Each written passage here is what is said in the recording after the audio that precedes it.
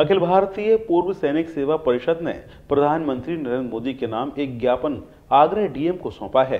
ज्ञापन में 17 नवंबर को जयपुर में तैनात राइफलमैन सोनू सिंह द्वारा ट्रेन में सफ़र किए जाने पर टीटी सुपन ने रेलवे द्वारा चलती ट्रेन से धकेल दिया गया, जिससे उसके पैर कट गए और 23 नवंबर को उसकी मृत्यु हो गई। इस पूरे घटनाक्रम को लेकर सैनिकों ने टीईटी पर देशद्रोह लगाने एवं उसकी संपत्ति की कुर्की करने को लेकर ज्ञापन सौंपा है।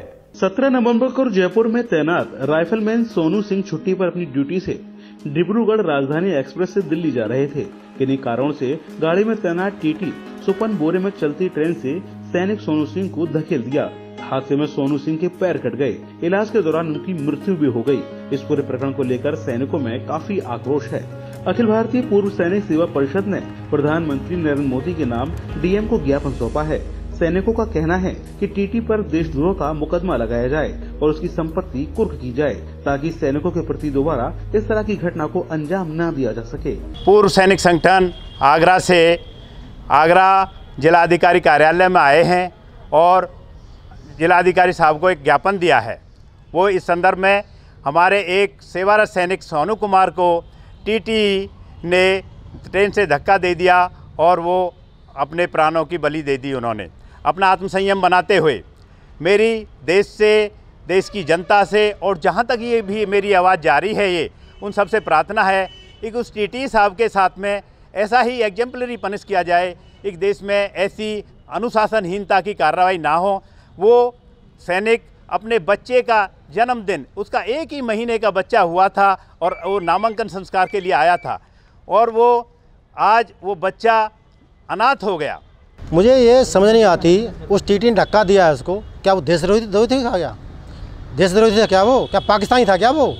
उसको धक्का दे दिया उन्होंने। क्यों धक्का दिया? अगर वो इलीगल काम कर रहा था तो पनिश किया जा सकता था, फाइनेंशियल पनिश किया जा सकता था।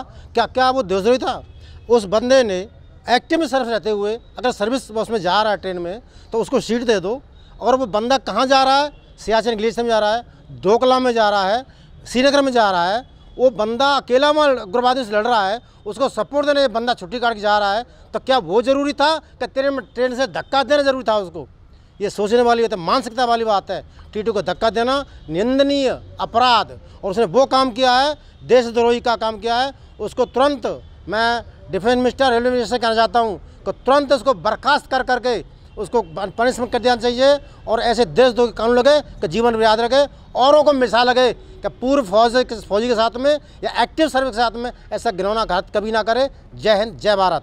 ये घटना जो सत्रह तारीख को घटी, जिसमें डिब्रूगढ़ एक्सप्रेस से एक सैनिक सोनू कुमार को टीटी सुपन बोरे ने धकेल दिया और उसकी मृत्यु हो गई।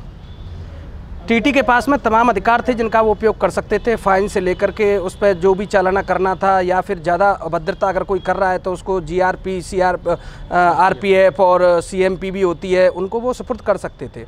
लेकिन टीटी ने खुद ही फैसला किया। एक सैनिक जो इसलिए अपने प्राण गंवा देता है कि शायद उसको समाज में सम्मान मिले। लेकिन हुआ क्या? बच्चे अनाथ हो गए, परिवार बर्बाद हो गया। इन्हीं मांगों को लेकर के हम दो मुख्य मांगे रही। एक तो उस पर सख्त कार्रवाई की जाए, देशद्रोह का मुकदमा दर्ज हो, उसकी सारी संपत्ति को रख की जाए और नौकरी से बर्खास्त हो तुरंत की तुरंत। दूसरी, उस परिवार के लिए कम से कम एक करोड़ की सरकार सहायता दे और उस परिवार को कोई नौकरी उसकी पत्नी को या भाई को जो उसके परिवार को चला सके, उसको नौकरी दी जाए। ये मुख्य दो मांगें हमने यहाँ पे रखी हैं। जिससे एक समाज में भी मैसेज जाए कि किसी के साथ में करने, ऐसा करने पर, ज़्यादती करने पर, जान लेने पर क्या होता है। हमारी यही आज की मुख्य मांगे रही। डीजी महाराजा न्यूज़ के लिए राशिद हुसैन की रिपोर्ट।